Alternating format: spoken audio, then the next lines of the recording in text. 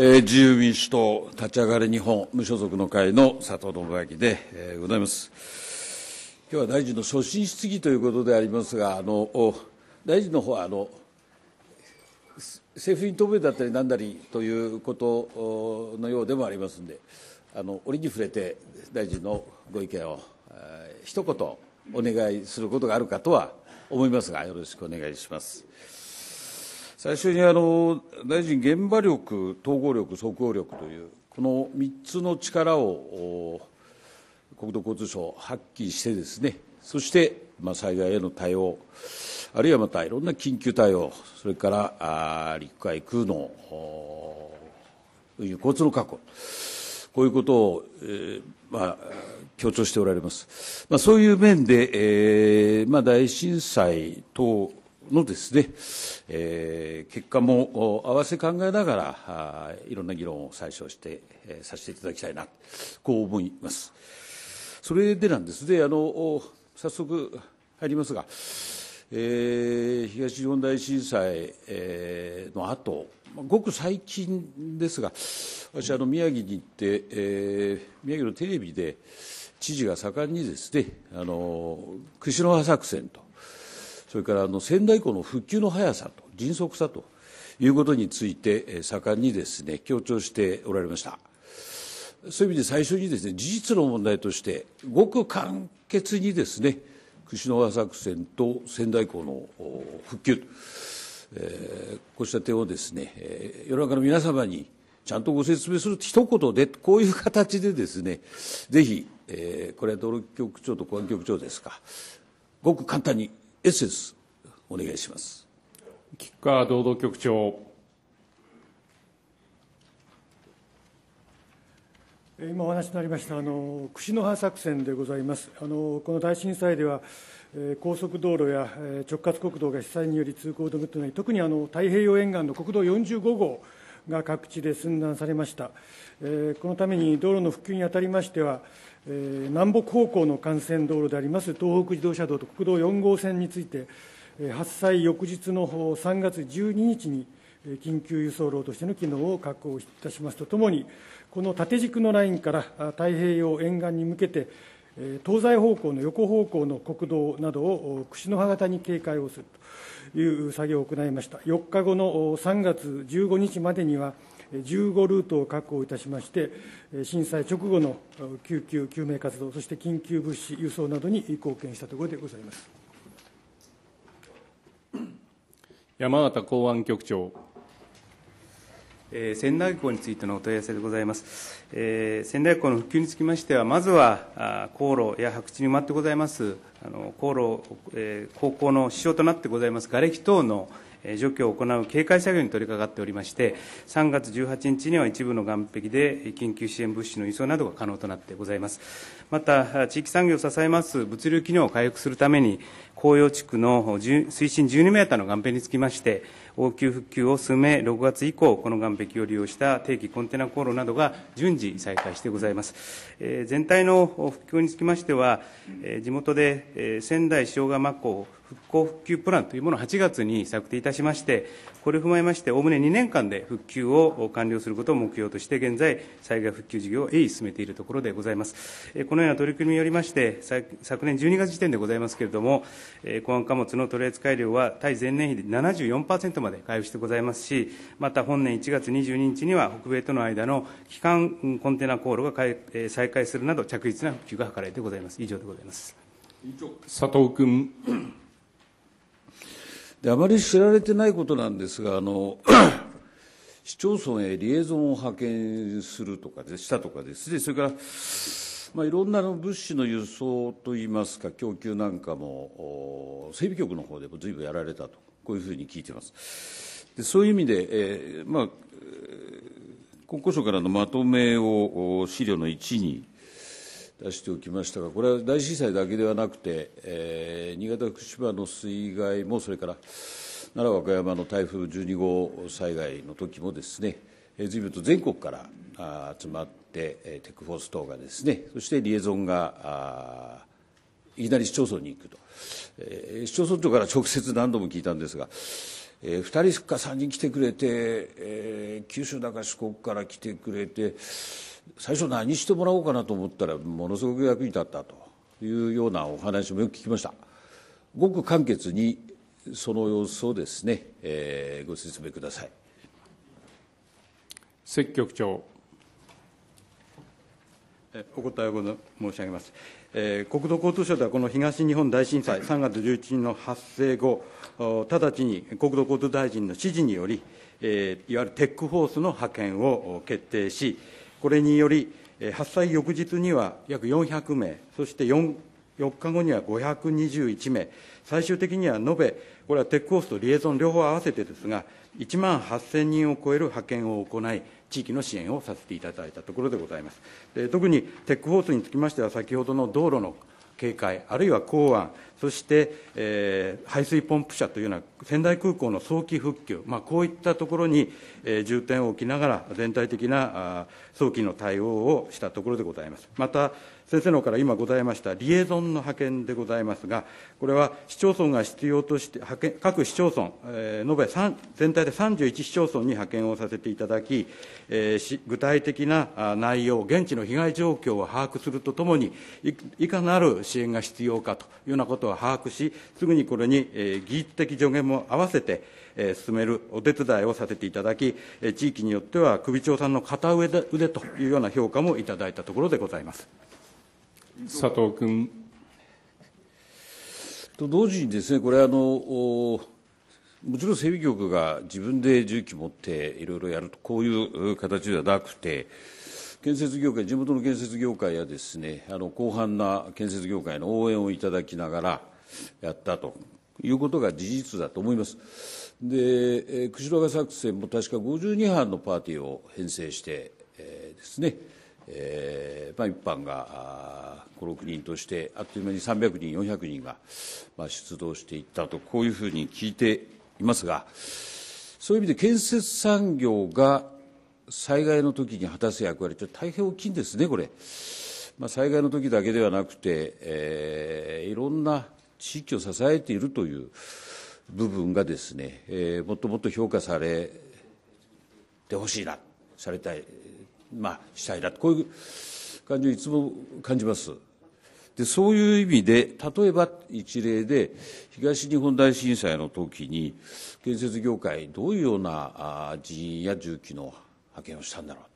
えー、救急物資等、どうなってんだろう、どんなふうな応援した、こういうことまとまってなくて、まとまってなかったですね、それでまあ1年経ちました。えちょっと整理してみてくれませんかとこうやってお願いしてですね資料の2におまとめいただきました。概要簡潔に、え局長の方からお答えください。内田土地建設産業局長。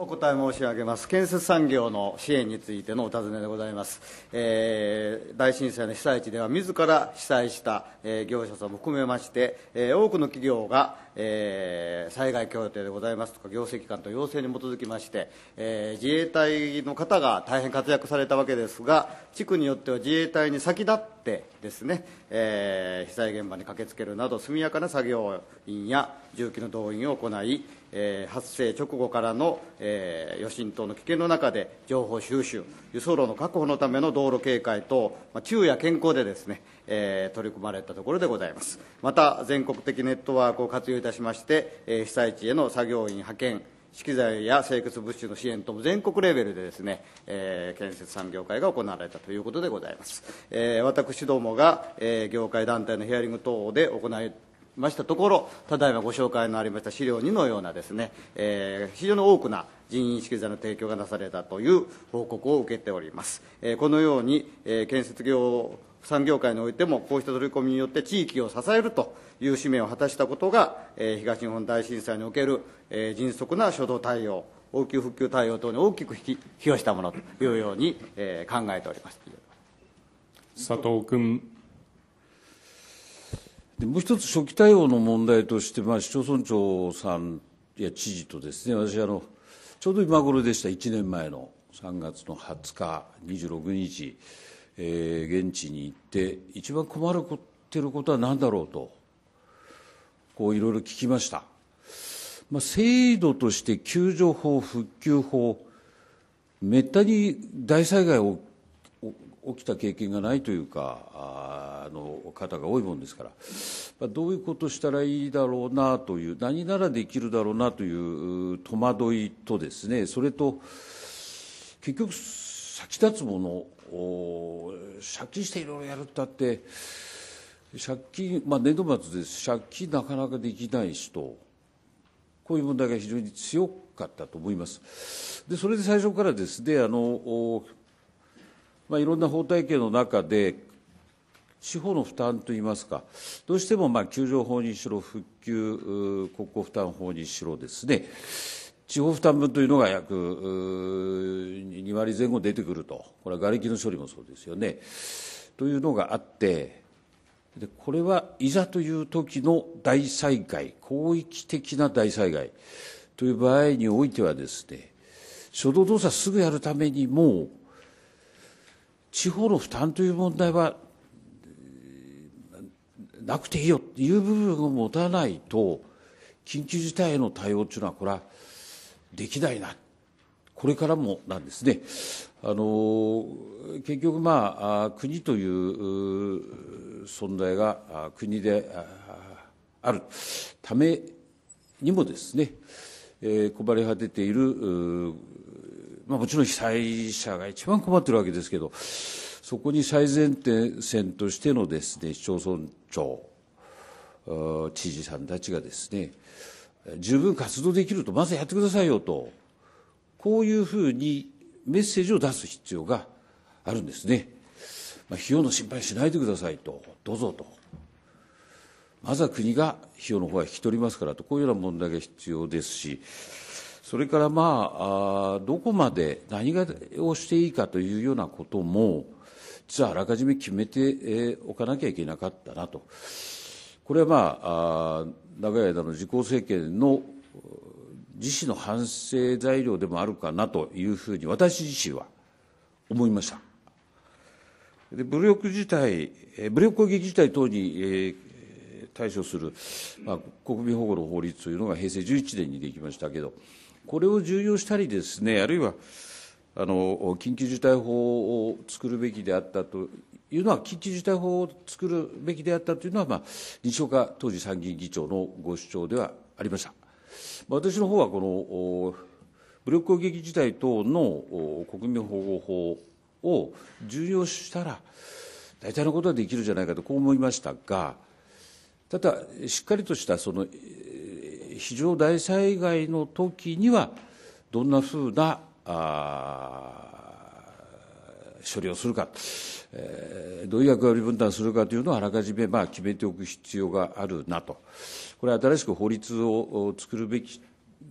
じゃないかなと、今、私はそう思っています。まあ、そう思ってますが、ここは国交の委員会ですんで、えー、災害の復旧という面から言ってもですね、心配せずにすぐやってくださいと、応急復旧ですね、あるいは、まあ、恒久的な復旧にしても、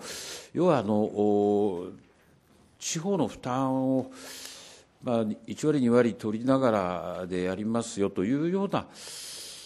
ことでは、現地なかなか動けないなと、つくづく、復旧一つ取ってみても思いました。これ全体の議論としてはまたあの別の委員会でやりたいと思いますが、少なくとも例えば復旧の問題で言えば、大災害の時この大災害の定義はもちろんいろいろあると思いますけど、大災害の時はですね、地方の負担なしに復旧やっていきましょうよというようなことが必要だろうなと。個別に他にもたくさんあります。たくさんありますが、まあ、国交の問題で言えばですね、えー、ぜひそういう主張を自らしっかりとして、えー、もらう必要があるんじゃないかなとこう思いますが、水局長ですか、どうでしょう？関局長。お答えを申し上げます。先生ご指摘のように、えー、いわゆる公共土木施設災害の復旧事業等の国庫負担法、これでは、えー、基本的には標準税収に応じて、えー、災害復旧事業に対して国が3分の2を補助するということとしており、さらに激甚災害の指定によっては、この補助率のかさ上げ、あるいは地方債および交付税の措置がされるということで、えー、98.6%ぐらいだったと、3%ですかね、最終的にはそういったところまで国の負担が多くなればなされるという仕組みになっております。また、ご案内のように、特に東日本大震災においては、地方負担額の全額を特別交付税として措置するということで、これは結果として災害復旧等に要する費用を全額負担するということになってございます。でご指摘のように、今般の東日本大震災の異常事態における、被災地における復旧・復興に関しては、国の取り得る政策手段を最大限に活用するとともに、なかなか普段あの市町村長さんもごご存じないというような意味でこの、こういった仕組みについても徹底的にご事前からあ幅広くご説明させていただき、よく知っていただいた上で、一緒になって災害対応に取り組める、まあ、こんな対応を考えていければというふうに思っているところでございます佐藤君。実質的にほとんど負担がありませんと、今の説明、あの今の復旧法のままでですね、そこが違うとずっと言い続けてるわけです、私は。それでようやく7か月かかってですかね、10月の6日でしたね、あの財務大臣がまあ全額あ、総理大臣か、全額持ちますというふうにしたのは。今の説明のように3分の2あるいはですね4分の3を国が持つとして実はあの公共団体借金できません。税収が半分になる。いう状況の中でですねさて借金しましょうってもですねできるわけがないですね。県や市町村の財政バタがですねとてもありませんよと。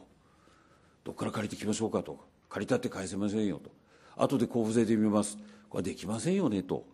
10年20年30年がかりで結局はそのずっと借金を背負いながらやっていかなきゃいけない財政破綻しますと。こういう話なんですね。ですからある一定規模のは、まあ、激甚災になったとしてもですねとりあえず借金してくださいという部分をなくしてやらないと動けません。ここなんですね。ようやくお分かりいただいて第三次補正で地方負担分を交付税で特別交付税で要は国が借金して肩代わりしますという形にしてもらったわけですがこれを普段からですねある一定規模のものはというふうにしていかないとなかなか緊急対応できないということを申し上げておきたいと思います。えー、福田政務官、小さしておられましたから、よくよくお分かりかと思います。そこではですね、あの国と地方のまあ財政的な、あるいは機能的な役割分担ということをしっかりと考えていかなきゃいけないと、特にあの大震災以降、いろいろ、あこんなことまであったあるのかということが、だいぶ変わってきたと思います、国民の皆様の意識も。でそういう中で、えー、地方整備局等広域連合へ移譲しようかというようなお話も、関西、九州はどうだろうと、こんなお話も政府内では議論されておられるというふうに聞いてます。で11月26日にあのいろんな方向性を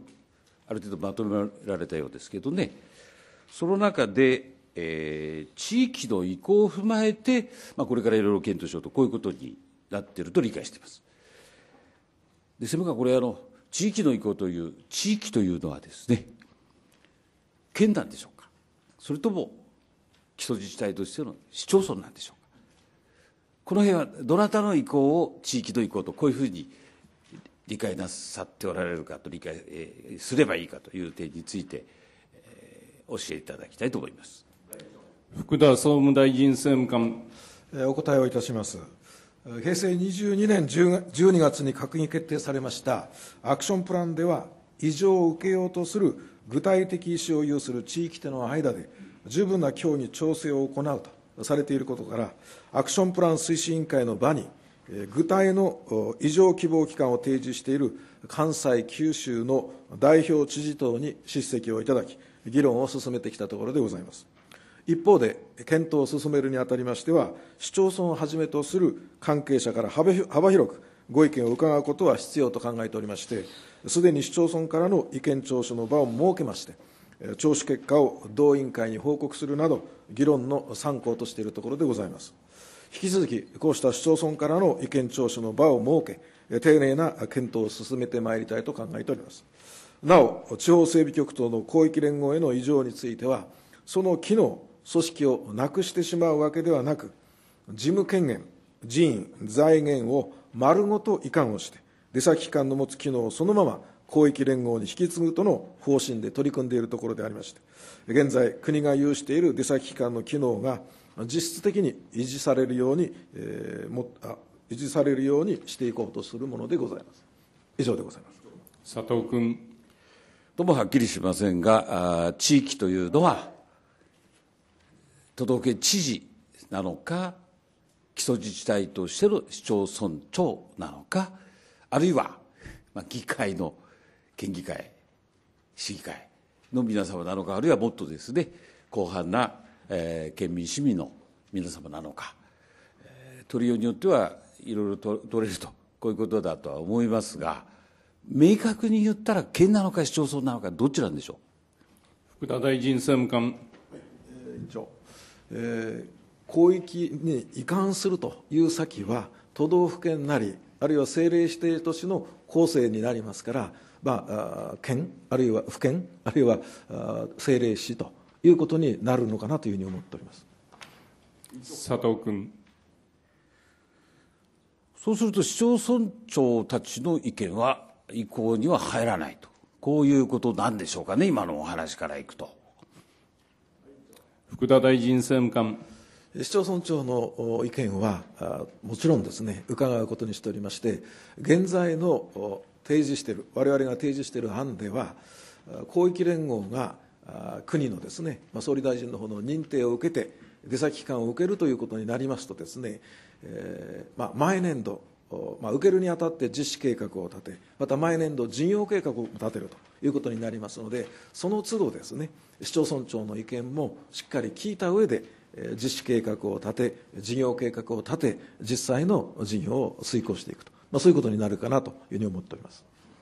佐藤君。えー、質問ここだけにしておこうかと思ったんですが、今、あの都道府県市町村とこういう議論で、えー、いくと、市町村長たちの意見、これ実はあの地方を守る会というのがあって、400、まあ、500市町村近くもあの異常反対と手挙げておられますよね。でおそらくあの本質的にはですねあの本音の部分では俺も反対なんだって市町村長が多分半分以上だと思います。でそういう意味で、えー、市町村長のは意見を意見を聞くけれど決断は都道府県の意向であるかのように今聞こえるもんですからちょっと気になるというか大変気になるなとこう思ったわけでありますが意向を尊重するの中には市町村長の意見も意向も入っているとこう理解していいでしょうかね。福田大臣政務官。はいあの私もですね全国市長会、町村会の代表の皆さんと、まあ、東京で意見交換をさせていただきましたし、つい先日もですね、えー、お彼岸の中日20日に近畿市長会、町村会長の代表の皆さんとも意見交換をしてきました。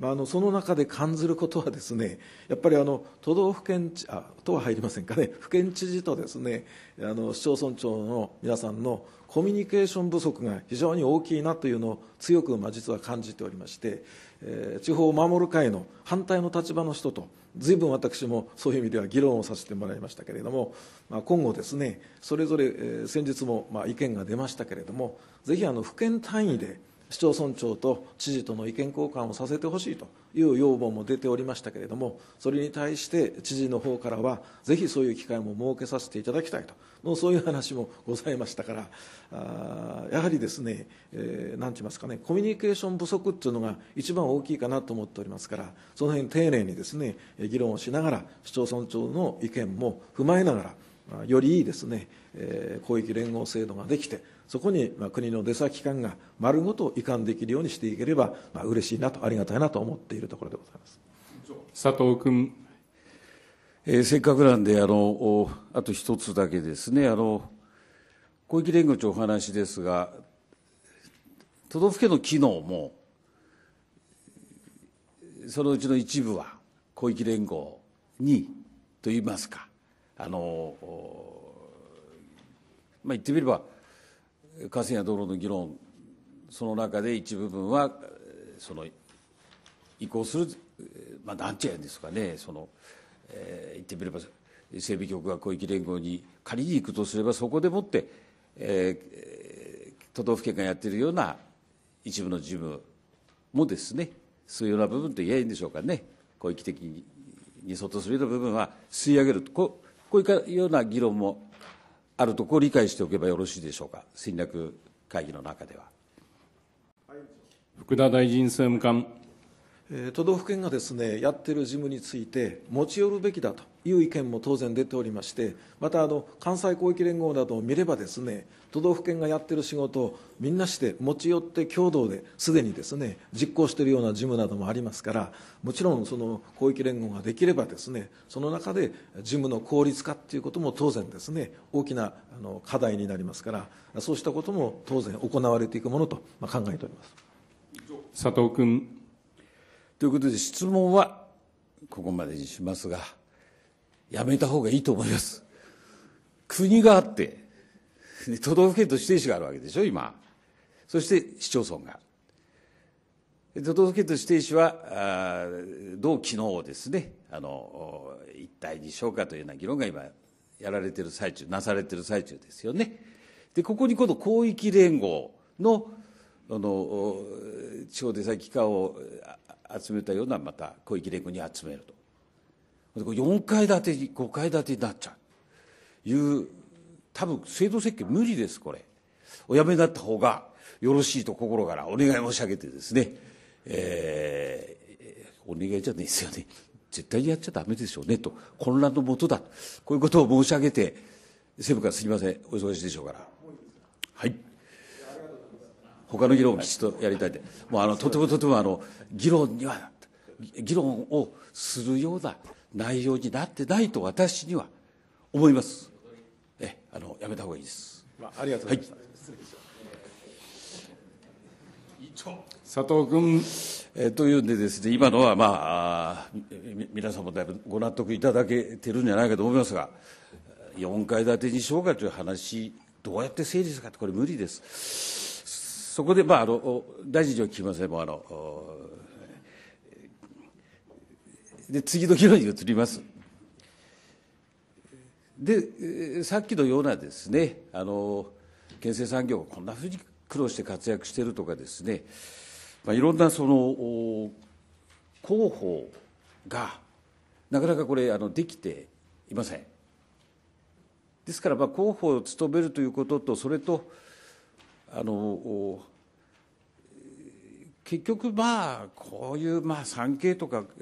4K とか言われる仕事なんですけど誇りを持ってふるさとを守っているという人たちにやっぱりこんだけ活躍してくれてるあるいは大臣自らがですねこう表彰しますよというようなこともですねあの必要になるんじゃないかなってるんじゃないかな。あの国のあの栄転制度といいますか、報奨制度にもちろん乗っけていただくと一番大事です。その前にですねあの、これだけ頑張っているという皆様に、大臣からの表彰も、あるいは広報を積極的にやっていただく、ここの部分をですねぜひあのしっかりとやっていただきたいと思うんですが、最初に、えー、官房の広報の方からですかね、はい、きちっとあのやるということをお願いします本田官房長。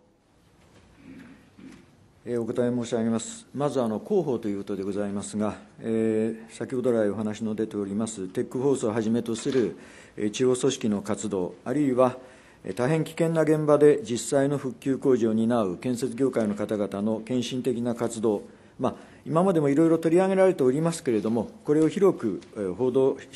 してまいることは、私どもの行政に対する国民の方々の理解が深まるだけでなく、現場の職員、あるいは建設事業に携わる方々の士気を高める上でも非常に意味深いと考えておりまして、積極的に取り組ませていただきたいと考えております。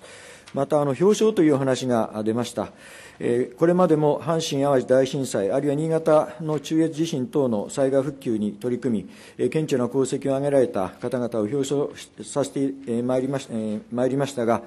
東日本大震災の復旧に尽力された方々に対しましても、すでに東北地方整備局長をはじめとする部局長が表彰を行っております。今後、国土交通大臣の表彰といったことも、これを実施する方向で検討させていただきたいと、かように考えております。佐藤君。ということで、大臣、あのできるだけですね、多くの皆様を大臣の方でご表彰いただきたいと思いますが、まあ、いろいろ選び方はいろいろあるかと思いますし、あのもちろん、そこはですね、あの大臣、こういうふうにしたらいいなと思うようなやり方でおやりいただければと思いますが、いかがでしょう？前田大臣。えー、佐藤委員と今、官房長のやり取りをお聞きしながら、えー、やはりこの地域に根ざした良質なこの復旧等にも活躍されたこういった方々の、まあ、表彰というのは非常にあの意義深いことだなということを感じました。ぜひそういった面で、えー、対応をさせていただきます。佐藤君。そこで次の議論に移ります。あの大臣所信の中で経済の活性化ということもおっしゃっておられますえー、資料3、えー、残念ながらというんでしょうか、まあ、公共投資の推移を載せさせていただきました。えー、21年度当初、公共投資7.1兆円、これが24年度当初案では4.6兆になって、えーまあ、一括交付金を足しても5.4兆、まあ、一括交付金というのは性格上、公共投資としてどれだけ評価しうるかという面ももちろんあろうかと思います。ただ、まず世界的に見ますと、実はここから先のデータがなくて、あのできるだけ早くまた手に入ったらですね、23年度、22年度、23年度の見込みというのも、えー、いただきたいなと思いながら、資料の4でありまして、公共投資水準の国際比較。どこの国もですね、あのこの10年で言えば、十何年かで言えばですね、あの右側の欄ですけど、3倍だったり2倍だったりという、こういう状況の中で、えー、日本だけ半分以下と。で日本の場合にはあの災害これだけあってですね、でしかもネットワークが、あ先ほどもご議論ありましたけど、ミッシングリンク、あるいはあ治水、利水、ダム、えー、堤防、まあ、いずれにしてもですね、まだまだ足腰と弱いという中で、まあ、こんだけ、えー、公共投資削ってきてしまった。こういう状況の中ではですね、まあ、2つあって、えー、デフレどうやって脱却していくんでしょうかねと、全国のデフレ対策どうしましょう？それからこれだけ切っていくと、防災対策上、本当にできるんでしょうかねと、こういう議論が大変気になります。まず、デフレの脱却というのはですね、どんな道筋を書こうとしているのか、これは内閣府の方で考えていることを一言ご説明ください。梅谷政策統括官。お答え申し上げます。デフレ脱却に向けましては、民間部門の我が国経済に対する成長期待、あるいは物価上昇期待を高めるとともに、需要創出を通じまして、需給ギャップの縮小を行っていく努力が重要と考えております。この需給ギャップの縮小に向けましては、現在政府は累次の補正予算の迅速かつ着実な実行に努めております。まずは大震災からの復興に全力で取り組んでいるところでございます。さらに、住宅エコポイントの再開や、国内企業立地補助金、エコカー補助金の再導入といった民間需要の押し上げに資する施策を実施いたしております。また、24年度予算には、成長戦略の実現、日本再生に資する事業を盛り込んだところであり、これを着実に実施し、成長期待の改善につなげてまいりたいと考えております。政府といたしましては、長引くデフレを克服するため、金融政策を行う日本銀行との一層の連携強化を図り、切れ目のない経済財政運営を行ってまいるところでございます佐藤君。と、まあ、あまり中身のない議論をしていてもちょっとしょうがないかなという気がせんでもありませんね。ね、金融政策と言いながら、それはもう、金利実質ゼロの中でですね、貨幣の供給も増やさずにいう状況の中で、えー、あなただよりみたいなことを、まあ、おっしゃっているように思います。いろんなモデル見てもですね、このままじゃあの経済の活性化ってできないんじゃないかと。いくつかのモデルを、まあ、おっしゃって駆使しておっしゃっておられる先生方、まあ、おおむねはですね、このままじゃ難しかろう、こういう議論であります。えー、という状況の中で、えー、全国の防災対策、全国防災というのをあの入れてはいただきましたが、額が少なすぎるな、少なすぎます。青森の知事が一生懸命ですね、孤立集落を救おうと思うと、青森だけでも300、400箇所ありますよと、でそういうのを今、救っておかないとというんで、大急ぎで、えー、全国防災公共というようなことをやらやらないと間に合いませんよということを盛んにおっしゃってましたね。だから全くその通りだと思います。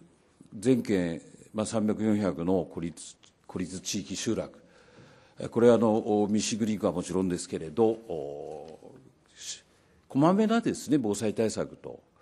いうことも必要なんですね。やろうとすると、まあ、1件あたり大体、まあえー、何百億単位というのが必要になってくると思います、精査はしなきゃいけません。まあ、そういう意味で、政務官、まさしくあの全く同じお考えをお持ちかなと思いながら伺います。対馬大臣政務官。まああの今、委員の方からですね、えー防災えー、全国防災対策、費用本当に大丈夫かと、こういうご質問をいただいたわけでありますが、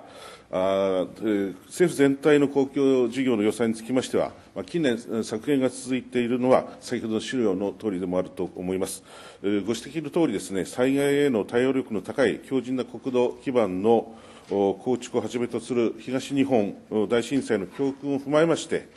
全国防災対策を推進し、国民生活の安全安心の確保を図るなど、真に必要な社会基本整備を着実に推進していく必要があるということは、同じ認識だと思っております。国土交通関係の要望予算、全国防災における公共事業予算につきましては、実は合計4兆1639億円、対前年比になりますとですね、この険しい財政状況の中、ほぼ前年並みのですね予算を確保しているということは申し上げさせていただきたいと思います。よろしくお願いいたします。佐藤君。まあ、ですから昭和あの平昭和じゃないですか平成21年に比べるともう、えー、2, 2兆以上下がってるんですよ。そこを回復しようとすると、まあ、あの自民党の場合にはですね全国防災で3兆円ぐらいですね、まあ、全体のまあ、予算の中でやりくりしながら3兆円ぐらいのですね全国防災をこの政府の案に足すべきだろうこういう提案を申し上げています。そこでなんですね、資料の5は、あの、実は私3月の、去年のですね、3月の15日に質問を申し上げようと思って用意していた資料でありました。太平洋側が非常に、えー、地震の危険性が高いですねと、えー、実はこの資料を、質問と資料を出し、えー、その前に11日に、えー、出した後でしたけど、地震があってと、大震災があってと、まさしくそういうことでありました。ただ、この場合にもですね、もともと予測されていたのは、宮城県沖 M7.5、オーダーがだいぶ違うんですね。ここで今まで予測されていたものとはちょっと違うんですよと、こういうような説明でもあったかと思います。そういう意味ではですね、あの実は首都直下、それから東海、東南海、南海、これは新しいデータによってももっと、まあ、範囲が広くなるんじゃないかとかっていろんな議論があります。一方で、したがって太平洋側はですね、その防災対策を、それ直接的防災対策というのを強化しておかないといけない。えー、ミシングリンク、あるいは津波にに対してのですね、防護、移転、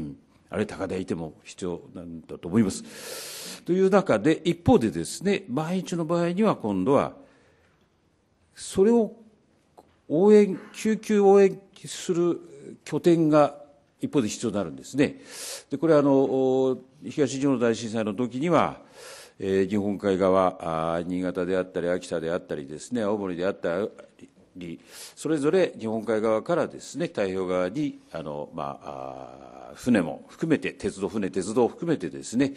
えー、拠点化してですね、支援ができた。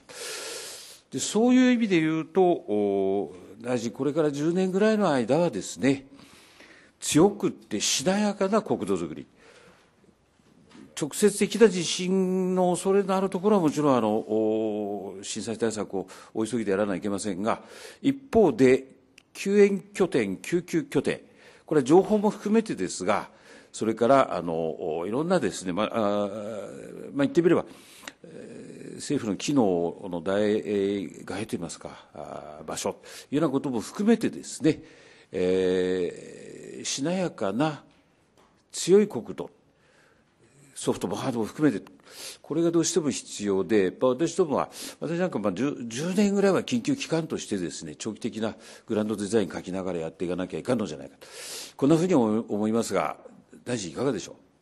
う？前田大臣。佐藤委員の今までのご議論の中、まあ、強くしなやかな国土づくりということについては、思いを共有いたします。えーまあ、あの震災のこの教訓というのは、先ほどもご指摘したように、社会資本整備審議会でも、この災害の東日本大震災を検証し、反省をし、その中から教訓として、命第一、そして、えーまあ、災害に、えー、その想定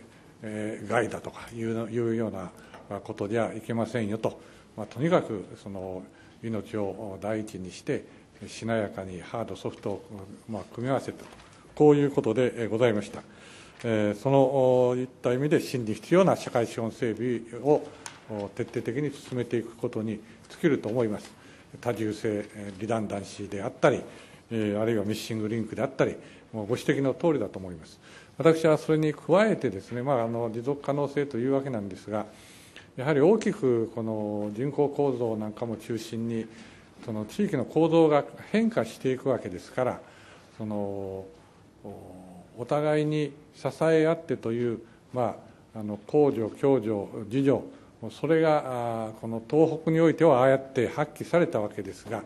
この大きな変化の時代に、構造変化の時代に、それが本当に持続可能であるかどうかということが心配であります。という意味では、やはりまちづくりという面においても、もっともっとコンパクトに、機能も集中し、なんとかそこで津波が来ても助かるというようなことが必要でしょうし、そしてまちづくりということになれば、自分たちの住居、こういった居住系のところについては、あの低炭素で結果エネルギー代が安くなるだとか、耐震をやって非常に安全になっただとか、これはまあ保険代も安くなっただとか、まあ、むしろあの個人のこの投資というものが生かされてプラスになるというようなことも踏まえてこのこれから先の公共事業を考えていく必要がある。ということになってくると地域がこのままいくと地域の経済がご指摘のようにどんどん疲弊する。したがって、えー、むしろこの社会資本整備と地域の経済が連携して民間のそういう経営力なんかも取り入れて、そこに個人もどんどん投資ができすれば得になるというような、そういう体制というものができないかということを常に考えておりまして、まあ、そういう意味での政策官チームも発足させたところでございます佐藤君。そういう意味で、まあ、残念ながら日本は災害の多い国ですから、その災害に対する備えという意味で、防災で国を立てていくというような観点もまた必要かなと勝手に私は思ってまして、中国で、実は中国のあの、まあ、参議院に相当するんでしょうかね、2年前にいろいろ議論していたときに、日本の防災技術をいろいろ教えていただきたいと、まあ、さらに ODA もとこういうようなお話もありました、ODA はちょっともうこれ以上はなかなか、ただ、防災技術をいろいろ教えていただきたいというのは、これはまた真実でありますし、そういう意味で、あの日本からの、まあ、輸出の、あ、る意味、世界への協力という面から言ってもですね、えー、自ら防災をしっかりと高めながら、外国にもですね、あのいろんな応援をすると、こんな体制も整えていただきたいと思います。すみません、あの大臣、時間がなくなったものですが、それでですね、実はちょっとあの世の中に誤解が多少生じている部分を直していただきたいというのを、これから2つ申し上げます。災害査定。災害査定が起きると、災害査定をすると、その箇所が1箇所、例えば5000万でした。5000万で発注せないかんと、こういうふうに誤解したりしてます。戸だれの箇所が1億円、一緒にして1億5000万、あるいは査定額が1億5000万でも、全体の中で、それが1億2000万になるか2億になるか、全体の災害という中で運用していいんですよね。そして3年後か5年後か生産するんですよね。で、そこの部分が相変わらず誤解されているところがあります。これ一つあの、そうでありませんということだけをですね、あの水局長、世の中の皆様にあのごご説明ください。関局長。はい、あのお答えを申し上げます。えご指摘のように、災害査定の単位と、実際に各自治体が復旧として発注をされていくというところには、関係がございませんので、え足し算、あるいは分けることも可能でございます。えそういう意味では、まさに自治体がどのようにかんお考えになって発注していくかということに尽きるというふうに考えてございます。そういう意味では、あの先生ご指摘のように、まだ十分ご理解いただいてない部分、あるいはあの簡素化、あるいは実際にあの災害査定の前でもですね、着手できるというようなことも、なかなかあのご理解いただいてない部分も正直言ってございます。こういったものもあの広くご理解いただき、スムーズに進めるよう、私どもとしても全力を取り上げて取り組んでいきたいというふうに考えているところでございます佐藤君。まあ、実は資料6で、えー、出させていただいて、いや、この資料で説明するから世の中誤解しているのかなと、実はそう思っています。これ、一箇所を前提にしてですね、生産までとこうなるから、ちょっとこれ分かりやすくね、あの、資料変え手というかね分かる今の説明が分かるような利用できるんですよ。多年度にわたってやれるんですよというようなことをですね説明、えー、もうちょっと分かりやすく資料にしていただければありがたい。あと政務官ですかねあの防災取材移転促進の経営公営住宅これ資料7で、えー、実は一緒にしてくださいというんであの前田大臣になられてから一緒にしていただいたと思います。同時にできるように。これはですね23年度補正でつけた分は24年度は繰り越して25年度は自国になるんでしょうか。それとも基金のように3年とか4年の間にですね補正の予算の分をこう充当していけばいいとか完成させていけばいいというのかどっちなんでしょう？島大臣政務官。今もあの委員の質問はですね、えー、産地補正の予算がですねその後、どうなるのかなとこういう話であったと思いますが、あの復興交付金につきましては、財政法のですね第14条の3の規定に基づき、繰り越しが可能となっております。さらに、事業進捗に応じた機動的な執行を可能とするため、被災地被災市町村等において基金を造成し、事業計画の計画期間内にこれを取り崩して、事業等を実施することも可能であるというふうに承知をしております佐藤君。ということ大変あの、割と弾力的に使えるんですよね。で現地では、いやいや、24年度繰り越しでやれても、25年度さあどうするんだろうとかです、ね、混乱が生じてますんで、これもきちっとした分かりやすい説明をですね、えー、市町村長や、えー、その執行する人たちにです、えー、教えてあげていただきたいと思います。ちょっと混乱してます。と以下はですね、時間もなくなりました要望であります。三陸の鉄道復旧とか只見線の復旧、これは JR の話、JR 東の話でしょうが、ぜひここの方からもきちっとやってくださいということをお願いを、要請をしていただきたいと思います。それから地盤の液状化対策と、こういうことを考えますとですね、実は、地質とか地盤の情報の基本法みたいなものを作ってですね、地質情報を一箇所に集めるといいますか、一つのマップの中に落とし込むような作業というのが必要なんじゃないかな。液状化を考えます。これ、あの、地盤のデータはですね、あの、いろんなところで持ってます。産総研であったり、まあ、もちろんあの国庫であったりですね、それからあの住宅を建てる、え民間の会社であったりですね、でそういう情報をマップの中に一箇所に落とし込みましょうというようなことが必要になってるんじゃないかなと思いますので、これはまた別途の機会であのやらせていただきたいと思います。それからあの豪雪災害、えー、これ要望ですが、先ほど来あの交付金の話がありました。社会省総合整備交付金の中で、積雪関連特別地域の道路交通確保に関するごか、まあ、ご金じゃねあの道路交通確保に関する法律の義務、義務といいますかね、やらなきゃいけませんとこうなってるんですが、3分の2の補助でした。社会省整備交付金の中でその取りましょうとこうなるもんですから枠の中で大雪になっても取れません。大雪になっても最後の方でないと出てきませんから。ですから県道国道の県の関係の補助事業とですねそれから市町村の臨時の除雪標助とこれ別途に取っていただくようにお願いしたいと思います。交付金の中では無理です。これ以上のものは。ずいぶん今年も大雪ですからぜひこれは要望しておきたいと思います最後これも要望です不調不落問題が大変現地で多くなっています。あの、被災地でですね、一時4割ぐらい、4割越してました。えー、参加者がいないとかですね、あの、契約が落ちない。ですからこれはまあ、あの、別途に議論はさせていただいてますが、予定価格の上限拘束というのを、この場合、ある範囲ならいいよというようなことも含めてやっていかないと、どうも、あの、被災地、大震災の被災地。これあの、水害の方もそうかもしれません。間に合わなくなってきつつあるんで、まあ、この辺はまたもう一度改めてですね、あの、整理しながら議論をさせていただきたいと思います。えー、時間が参りましたので、私の質問ここで終わります。ありがとうございました。